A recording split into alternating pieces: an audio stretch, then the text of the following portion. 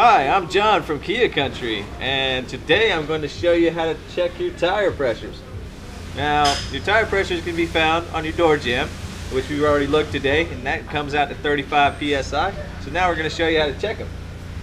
Uh, this is a standard tire gauge you get from the store. So we're just going to take our valve stem cap off right there. check that tire pressure. So we got 35 going on right there. 35. Go ahead and put our valve stem cap back on.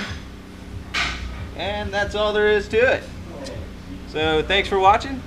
If you have any more questions, uh, please feel free to contact charlestonkia.com or give us a call at 843-573-4995.